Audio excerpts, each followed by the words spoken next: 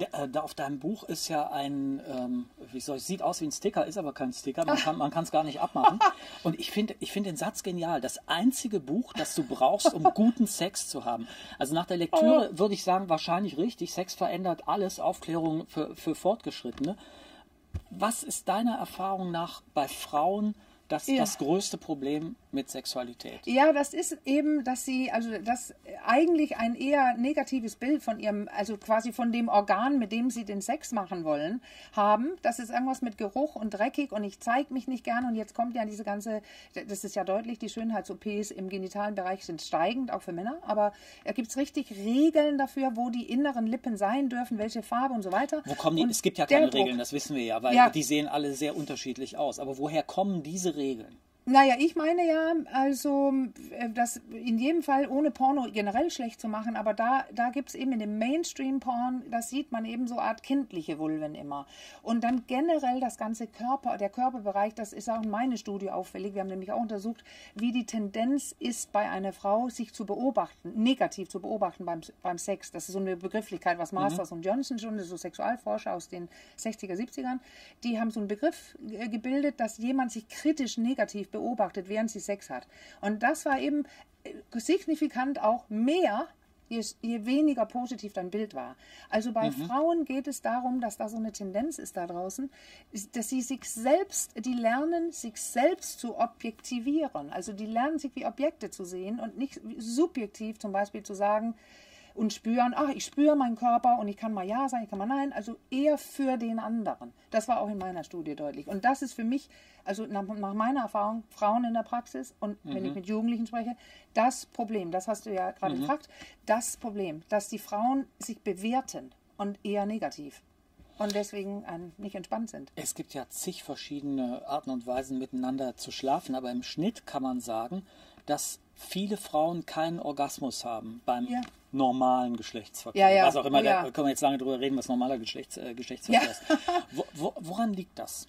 Ja, also diese, ich habe ja auch eine Zahl, wenn du das schon so sagst. Es gibt eine andere Masterarbeit von, von Frau Bischoff, ähm, die hat äh, um die 30 Prozent und die anderen mhm. Studien, die das belegen, das ist tatsächlich ähm, ähm, ja, ist nicht ganz klar. Äh, nein, nein, aber das ist viel. Das will das ich damit sagen. Eben. Also überhaupt nicht können, äh, generell keinen Orgasmus kriegen können, auch nicht, ähm, ähm, wenn sie sich selber äh, ähm, stimulieren.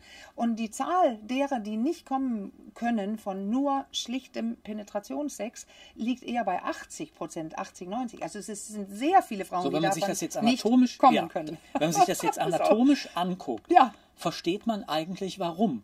Ja, du, ich höre, du hast, du hast geguckt. Ja, es, hat da mit der, es gibt Studien, die zeigen auch, wo, die, wo ist die Klitoris und wenn sie tatsächlich. Die ein relativ großes Organ ist? Die, die ist groß. Also, Was viele nicht wissen. Ja, ja, klar, 90 Prozent eher drin, aber diese Perle vorne, wenn die eher 2,5 Zentimeter oder weniger entfernt von dem vaginalen Eingang ist. Dann geht es eher, weil natürlich dann beim Stoßen äh, doch klitorale ähm, Betätigung ist für den Orgasmus. Also äh, doch Geschlechtspenetrationssex ähm, äh, kann es denn doch auslösen. Aber wenn die Klitoris da nicht mit gestoßen wird oder angefasst wird, ähm, kommen die meisten nicht, weil vaginal gibt es eben nicht so nicht so hohe Empfindlichkeit. Man kann was dazulernen, mehr mhm. zu spüren, aber eigentlich ist sie eher weniger empfindlich. Die spürt eher Langsamkeit und Druck. Ein also. Tipp, den du ja gibst, ist zu sagen, okay, wenn das so ist, ja. legt selber beim Sex ja. mit Hand an, weil dann funktioniert's. Das ist aber immer noch tabuisiert, oder? Ja, da gibt es, also Entschuldigung, ich habe das Gefühl, ich reiße eine Studie nach der anderen, aber es gibt äh, diese Partnerstudien, Partner 1 bis 4, Nummer 5 ist gerade unterwegs, von der Hochschule Merseburg und da ist eine tolle Tendenz zu beobachten, nämlich alle masturbieren mehr, auch die Jungs, aber die Frauen holen richtig auf. Was also, war ja früher, also wenn ich habe die genauen Zahlen nicht mehr so im Kopf, aber das mhm. war ja minimal ja, der genau. Anzahl, genau. Äh, genau. Die, Anzahl der Mädchen. Das wird mehr und das ist ein, das ist was Gutes, weil wenn du wenn du deinen Körper besser kennst, auch dein dein Genital, also wenn du das wirklich kennst, du weißt, wie es da schmeckt, riecht, wie es aussieht, wie es sich anfasst, was du magst, also was man so kennt, da passt man ja auch besser auf. Und man kann auch mehr Genuss erfahren, als wenn man so machen lässt und man eigentlich gar nicht spüren mag, ob es gut oder schlecht ist. Wenn man jetzt mal untersucht, woran das eigentlich liegt, dass sich das so positiv verändert hat, mhm. was, was meinst du sind die Ursachen? Naja, es, also die Aufklärung ist besser und ähm, die, also man spricht, wissenschaftlich spricht man ja von der von der neosexuellen Revolution. Jeder kennt die sexuelle Revolution 60er, 70er. Aber um die Jahrtausend, also 2000 oder so, da hat das Internet so gewonnen an Kraft, also fast jeder hat einen Computer und man kann einfach mehr äh, zu wissen bekommen. Und es gibt sehr viele gute Leute da draußen, oft auch, also viele Frauen, Professorinnen und so weiter, die forschen jetzt in diesen Sachen und die bringen auch ihre Ergebnisse so, dass der allgemeine Mensch da draußen es auch versteht. Also es gibt ganz viel Frauenpower gerade, so Support Your Local Pussy oder wir, ze- da werden Fotos gemacht, hier ein Spiel, Memory äh, mit echten Vulven, weil das ist es nämlich, wo sieht man noch eine echte Vulva? Also im, Porno nicht. Also man muss mal gucken, wo denn? Und wenn, es gibt ja äh, Fotobände zum Beispiel, Mhm. ist ja das Einzige, was man sozusagen als Gemeinsamkeit festhalten kann, die Unterschiedlichkeit. Ja, das hast du toll gesagt. Genau, das ist das einzig sichere. Die sind so unterschiedlich, die Vulven wie die Nasen, könnte man sagen. Oder Ohren. Also es ist Quatsch zu sagen, äh, ich, ich operiere zum Beispiel Ja. nach einem bestimmten äh, Schema. Naja, das ist wirklich mit den Nasen vergleichbar. Es gab so einen Trend, äh, vielleicht immer noch, aber jedenfalls als ich als Model gearbeitet habe, da war dann so in den Die 80er. griechische Nase, Ach, die sogenannte. schmal, dünn, fein, all sowas. Gerade. Und, und das, darum geht es auch bei dem Genital. Schmal, fein. Also es, es gibt immer ja Schönheitsideale. Und der Unterschied zu früher ist, dass wir sie heute so hinoperieren können. Wenn Ja. wir wollen. Ich will es nicht. Also wenn es diese Neo-Revolution gab, ja, ich bin ja noch ein bisschen, bin ja noch ein bisschen skeptisch, ob es die, ob sie wirklich gegeben hat. Also soweit ich Frauenzeitschriften kenne, liest man ja relativ häufig, ähm, wie Frauen es schaffen können, Männer zu einem guten Orgasmus zu verhelfen. Aber doch selten das Gegenteil. Nee, genau. Ja, du hast recht. Also diese neosexuelle Revolution, das ist ja im Sinne von, es gibt alles jetzt. Wir können alles finden, wenn wir suchen. Wir können Informationen bekommen. Die Scham ist anders, aber die ist nicht weg. Also sobald es um den eigenen Sex geht und das eigene Organ, eigene Genital, ist da eine so hohe Scham und eben gerade bei den Frauen. Und jetzt könnte man jetzt zurückspulen und überlegen, Männer lernen ja auch nicht immer, oh, fass dein Penis an, wenn die kleinen Jungs durch die Gegend laufen, das ist ja auch Nasenrümpfen. Aber Frauen kriegen zusätzlich, ähm, äh, also noch mehr Nasenrümpfen und immer was mit Dreck, immer was mit, äh, pass auf, da kommt das Blut, du musst es sauber halten. Also die kriegen viel mehr Negativbotschaften als Männer. Die dürfen immerhin gerne hinfassen, aber so ganz gelobt wird das ja auch nicht. Hast du nicht das Gefühl, dass so eine gewisse Form von neuer Prüderie eingesetzt hat? Gerade, Doch. gerade auch bei, bei jungen Frauen. Ja, ich glaube nämlich gerade als Resultat dessen, dass alles jetzt geht und man alles soll. Also eine, eine, ein Unterschied zu früher ist ja auch, früher gab es ja diese, ja, die sogenannte äh, Verbotsmoral. Da ging es, was darfst du, was darfst du nicht. Jetzt ist es Verhandlungsmoral. Jetzt müssen wir über alles sprechen. Jetzt müssen wir sehen, wa- was willst du, was will ich. So, und irgendwann ist all, alles zu viel. Man, man, ja, der Sex ist zerredet. Jetzt können wir einfach sagen, können wir den auch mal haben? Ja.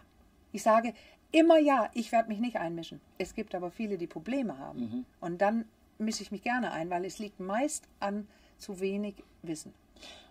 Was sind für dich die wesentlichen Punkte, die sich deiner Meinung nach ändern sollten? An denen wir jetzt immer noch Mann und Frau arbeiten sollten? Also ja, jetzt habe ich ja selber dieses Buch geschrieben, also dass es ordentlich beschrieben wird. Also da gibt es ja diese historischen Beispiele dafür, dass ein, ein, ein äh, die, die Vulva, die war schon längst, es war längst klar, dass die Klitoris so... 1566 oder was? So ist es, genau. Haben wir nur ein bisschen vergessen. Ja, und deswegen, es geht jetzt um Wissen. Und, und das, aber es gilt für viele Länder, äh, ein, der Sexualunterricht muss sich ändern. Und zwar, es muss eine, eine Wichtigkeit bekommen, dass es nicht nebenbei ein Sexo, äh, äh, Biologe, also äh, Biologielehrer oder manchmal der Physiklehrer, irgendjemand soll da diese berühmte Stunde machen. Also, dass man ein Kondom nehmen muss, das wissen die längst. Also, das können sie. Sie können verhüten und so weiter. Aber es wird nie über den Genuss gesprochen, meist über Ja. das Negative. Und das müsste sich ändern. Wie man äh, auch spüren darf und dass es Spaß bringen kann. Und klar muss man wissen, wie man nicht schwanger wird und keine Geschlechtskrankheit kriegt. Aber es geht um viel mehr. Aber, und das sollte sich ändern. Liegt das nicht dann daran, dass wir im Grunde genommen, so komisch das klingt, weil wir konsumieren ja andauernd, dass wir im Grunde genommen eine genussfeindliche Gesellschaft sind oder Ja. jedenfalls nicht sehr freundlich letztlich mit Genuss umgehen? Ja, genau, und besonders nicht mit sexuellem Genuss. Also da, da läuft immer noch, das sind dann Schlampen, also wenn es die, die Frau ist oder, oder so Don Juans oder Männer, die übertreiben. Also Sex ist in, in top on, weil wir dürfen zum Beispiel essen. Gerne. Äh, genießen. Also da gibt es ja die ganzen. Gibt ja auch Köche viele jetzt Leute, die zu so viel weiter. genießen. Ja, ja, ja. Ja, und da, da ist interessant, weil da geht es ja auch los. Wenn man zu viel genießt, Essen, dann wird es ja gleich mit Doofheit, also wenig Intelligenz oder sich nicht auf sich, also ungepflegt und nicht auf sich aufpassen Und das ist doch bei können. Sexualität ähnlich, oder? Ja, schlimmer. Ich würde sagen, schlimmer. Da geht es immer noch um dieses, wer das macht, ist dann ähm, unmoralisch, verschlampt. Es ist immer, also das sind noch diese Ideen von, ich finde, die sind nicht so lange her, dieses schädlich. Es ist schädlich. Ich habe das immer noch nicht ganz kapiert, warum das eigentlich so ist. Man kann jetzt natürlich Ja. äh, stundenlang über äh, christliche Sexualmoral und so weiter äh, reden, aber wenn man es nachliest, findet man zum Beispiel bei jemand wie Foucault, Mhm. der sagt, nee, nee, nee, das fängt schon lange vor dem Christentum an. Ja. Womit, womit hängt das, also womit hängt das zum Beispiel äh, zusammen, dass man äh, viel oder genussvolle Sexualität, äh, genussvolle Lust verbindet mit dumm? Also der, der blöde Spruch, dumm fickt gut. Ja, ja, ja. Warum ist das so? Naja, also ich glaube, das hängt, das kommt von der Kontrolle. Also Sexualität ist ein super Bereich, wo man Menschen kontrollieren kann, als Gesellschaft oder als Truppe, als wie heißt, jetzt fehlt mir gerade ein Wort, äh, Sippe oder irgendwas. Äh, Gruppe, wenn früher, ja. früher ähm, man kann wunderbar Kontrolle damit ausüben, weil es gibt ja dieses Ding, dass wenn man frei vögelt, kommen ja dauernd Kinder. Mhm. Und da gibt es ja auch andere spannende Beispiele, Kulturen, wo es egal ist, wer das Kind bekommen Ja, hat. eben. Wo es sich alle drum kümmern, richtig, wie es aufwächst. Also wo man auch lustige Sachen hört, dass Sex auch mal eben so an der Kante vom Marktplatz oder so überhaupt kein Problem, obwohl Kinder da spielen und so. Also da ist die Sicht auf Sexualität so anders. Ist nichts Gefährliches, nichts Schlimmes. Da gibt es gute Beispiele. Also du meinst, wir können von den Bonobo-Affen noch ein bisschen lernen, Bonobo. statt von den Schimpansen. Ah ja. Und ähm, ja, von den mexikanischen Wühlmäusen. Es gibt ja diese schönen Versuche, die, das ist tatsächlich eine treue Mäuseart. Und da hat Monogam. Man, äh, monogam. Und man hat festgestellt, wenn man die äh, bestimmte Rezeptoren durchschneidet, also Vasopressin, äh, das sind so eine Art Bindungshormone, dass die dann auch wild weitervögeln. Und schon haben wir so eine kleine Antwort. Es geht um die Erhaltung der Familie, der Gruppe. Wir müssen die retten, weil wenn alle nur am Wild und gerne am Vögeln sind, das könnte sein, dass das Kind stirbt, weil beim Menschen ist das Kind ja lange nicht alleine lebensfähig. ich glaube, aus der Richtung kommt die Antwort. Okay, ich danke dir. Und äh, ja, als Merksatz, Sex verändert alles. Ja, und da wird das Jungfernhäutchen auch ausgelöscht. Also ich lösche es nicht aus, aber ich beschreibe, warum es das gar nicht geben Gibt, sollte. ja. Und das ist das Dritt- Dritte, was sich ändern sollte. Okay, dann müssen wir darüber jetzt noch ganz kurz zum Ja. Ende, weil die meisten Leute glauben ja, es gibt Ja. es. Es gibt es ja auch irgendwie, aber nicht so, wie sie denken. Äh, Nee, Häutchen ist ja dieses geschlossene Häutchen, das gibt es nicht. Das gibt's es nicht. Gibt es gibt ein Häutchen, aber Genau, und das heißt tatsächlich Corona, also Kranz. Ähm, passt es ist zur ein- Zeit. Es ist höchst, also es ist so, dass ein kleines Mädchen bei der Geburt sollte es eher gar nicht haben. Also da ist es nur ein kleiner Kranz. Ja. Und wenn es wirklich zu ist, ist das die äh, medizinische Ausnahme und sollte per, also ein kleines Skalpell kurz geöffnet werden. Also das Häutchen, was bedeckt und was man durchstoßen könnte beim ersten Mal, ersten gibt es nicht.